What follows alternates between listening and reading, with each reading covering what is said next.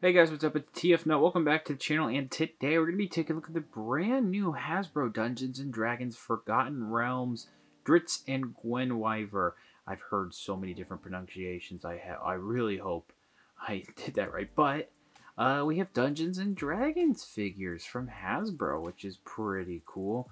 I've always wanted some toy line to do just fantasy figures. It didn't have to be Dungeons and Dragons, and Hasbro at least gave us this exclusive set here, which is a Hasbro Pulse exclusive. I really do hope they end up making a 6-inch Dungeons and Dragons line, rather that be just through Hasbro Pulse or through retail, because that would be very interesting.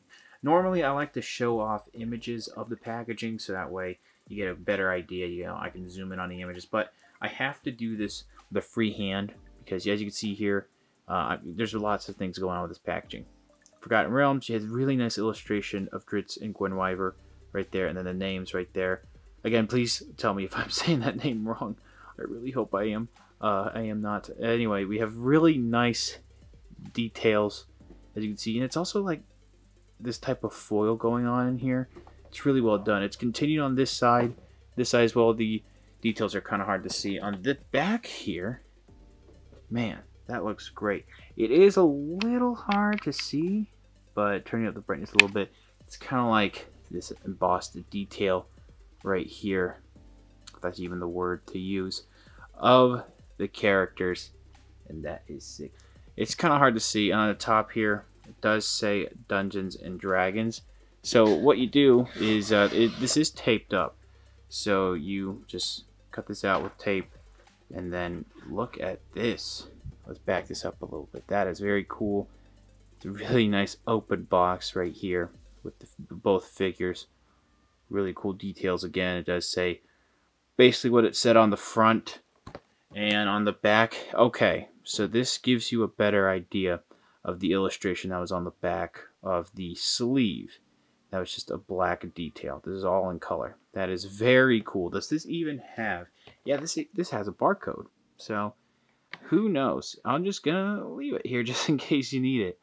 So this is awesome packaging. Let's go ahead and get this set open. So here are both figures out of the packaging, and overall it's a pretty solid set. I might have a QC issue with my Dritz figure, but there is a lot to like about this set overall. We're going to take a look at Dritz accessories, and then we'll take a look at that figure first, and then Guenhwyvar. So first thing I want to show off is that we get some cool cards, and there's some writing on the back, and they have some really nice artwork. They're not really cards, just pieces of paper. It's a nice dragon. A lot of these creatures, I'm just going to tell you right now, I'm not super familiar with, because I don't, I don't really know if we ever came across this in any of my campaigns. That was a goblin.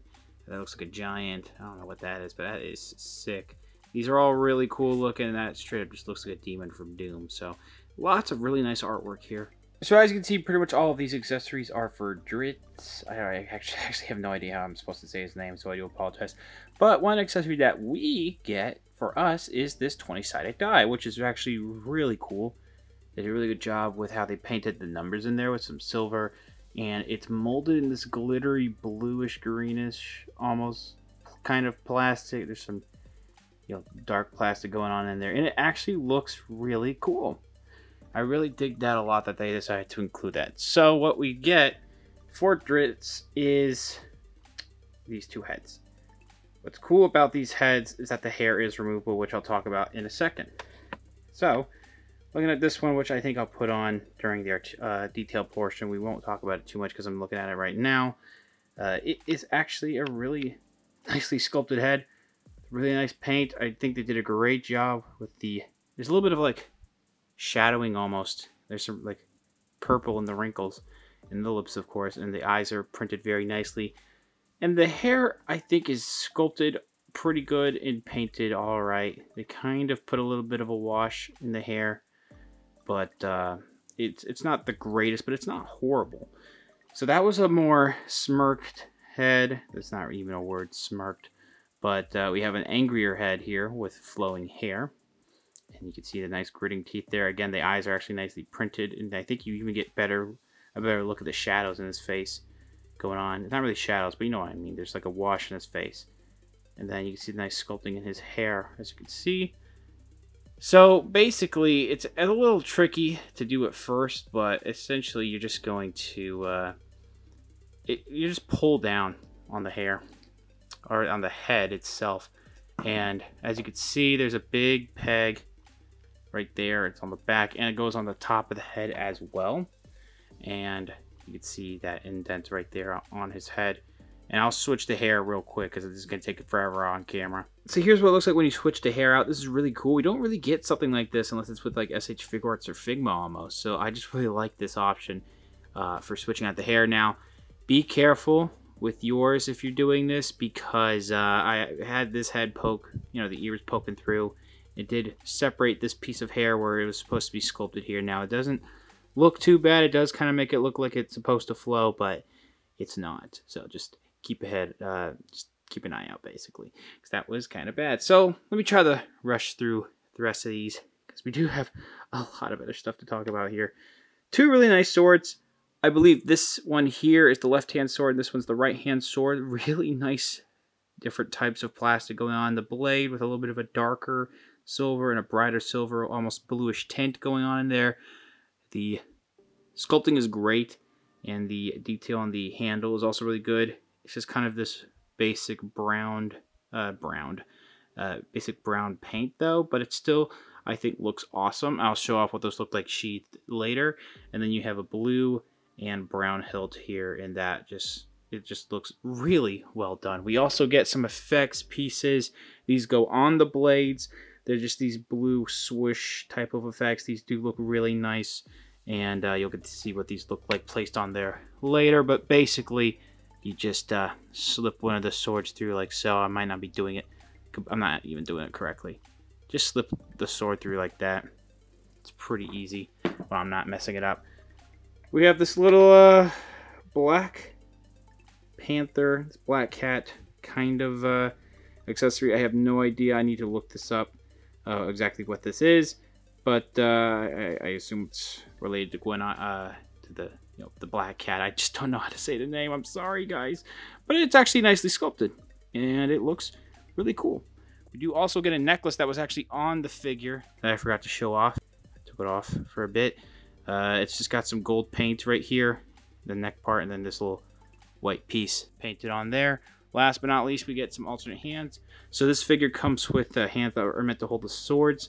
You have this more open almost look like it's a certain type of pose, almost magic type of hand. Then there's a fist. I do wish we got two of each, but still nice that we have options for switching out the hands. It does look a little weird though that you have these blue pegs with the black with you know black hands, but still really nice looking hands. So here is the Dritz figure. I'm going to zoom out real quick, and that way you guys can hopefully, I'll try to get a nice 360 look at this. So apparently I've been saying names wrong. Uh, yeah, it's it's Dritz, I think. I just don't know how to say it, man.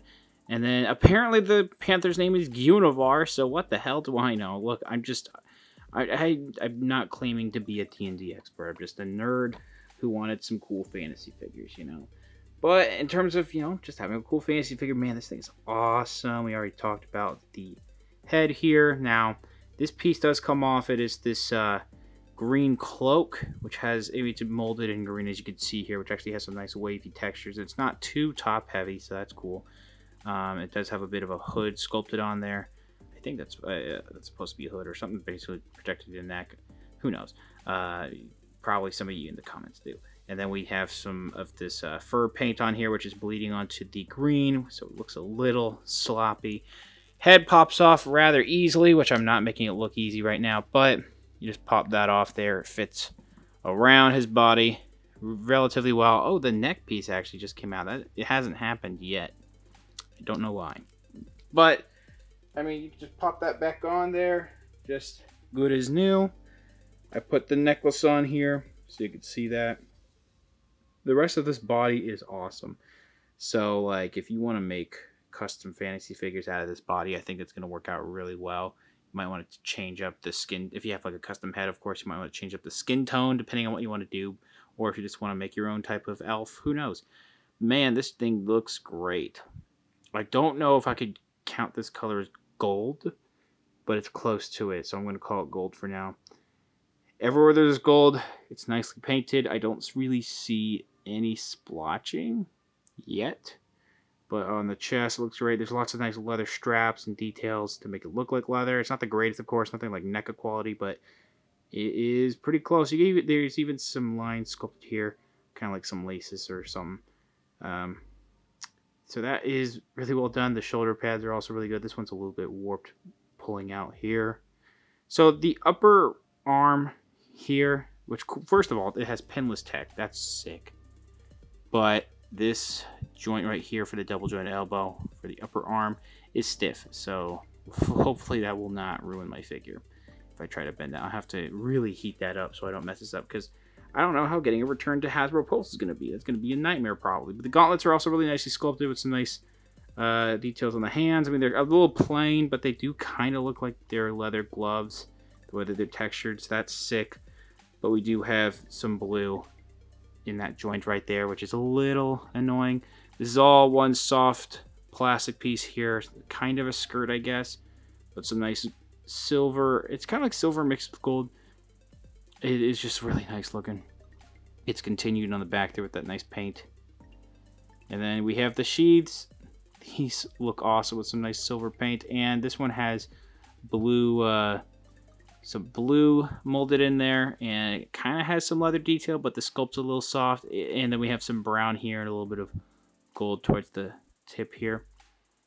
And uh, yeah, that's really sick basically how this works is you're supposed to fit it in the formation of the sword. Put that one in there. I just did that on camera uh, with a little focus, so hopefully I'll do it with this one there pretty well. And you can see the holes in there. I, don't know what the holes are meant to do, if it's supposed to... I, I don't know. But I'm to leave them in there right now. They, they don't really get in the way too much, so that's sick but these things are connected with soft plastic, so they may have a tendency to break off if you pull on them too much. Just a heads up. Then we get down to the pants. It's a little plain. It does have somewhat, you know, of like the utility pants type of sculpt going on there with the zipper. That's not exactly a zipper, I'm sure, but you know what I mean.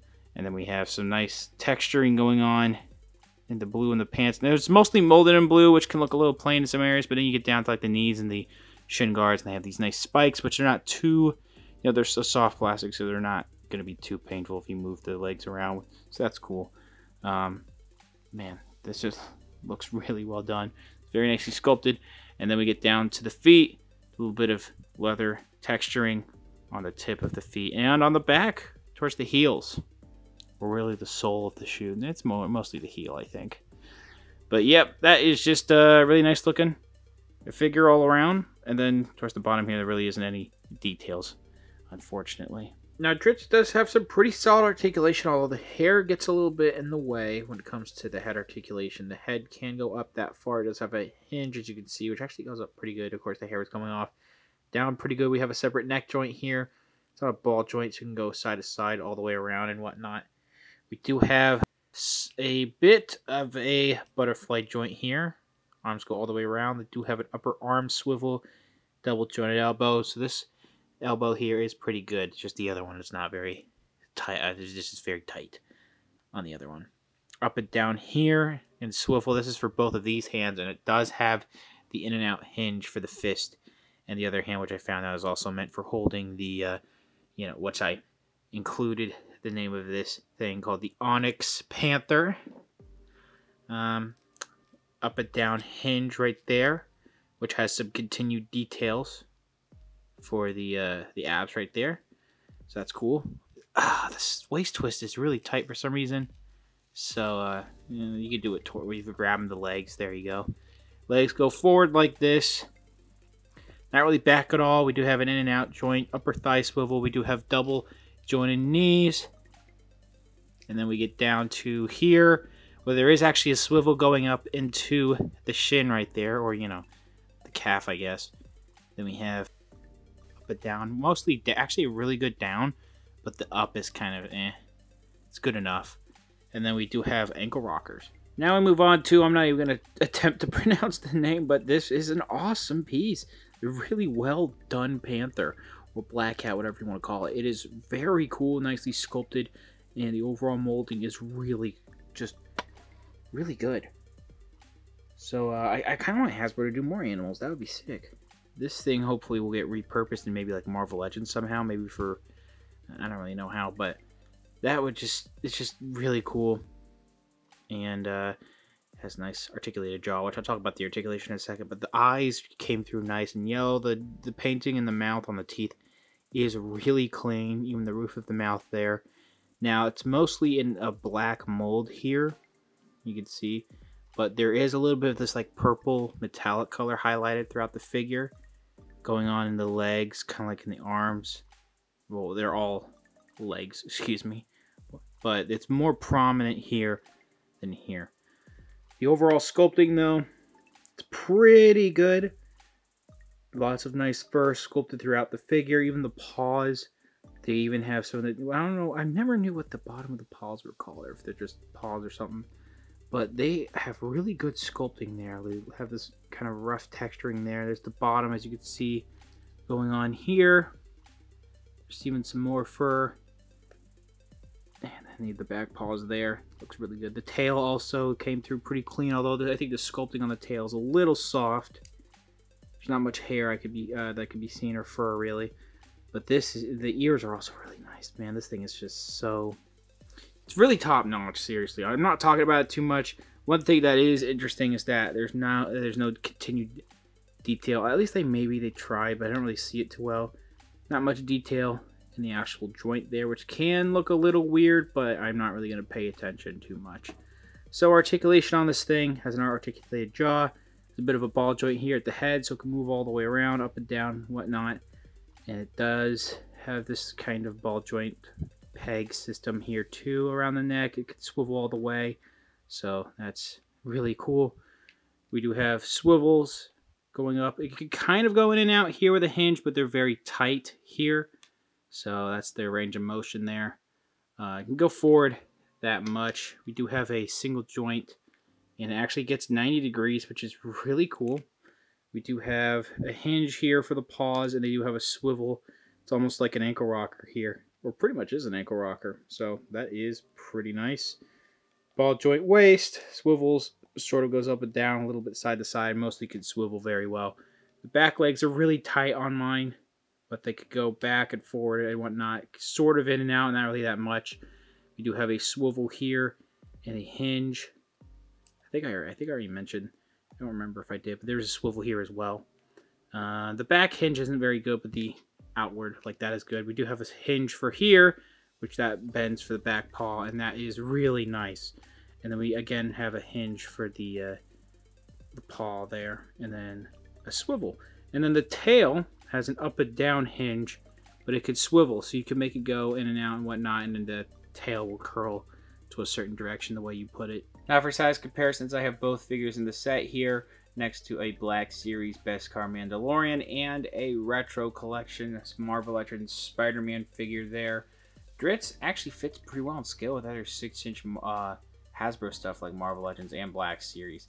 Of course, Spidey's a little bit shorter of a Marvel Legends character here but they all fit in about the same scale with each other. Now, of course, I'm not even going to attempt to attempt the Panther's name, but uh, that Panther from, you know, standing up all the way is going to be about a, maybe either at half or less than half of the size of a Marvel Legends or six inch figure, of course. But it's about four and a half to five inches long, not including the tail. That adds another like two to three inches. So it's pretty long altogether, but height wise, of course, it's not going to be taller than these guys. So I've said it over and over again in this review, but I am not the biggest D&D expert. I kept messing up the names, of course. Couldn't even get the names of some of the, accessories right. I'm just here to talk about the details and what they come with, of course, and just how the figures are.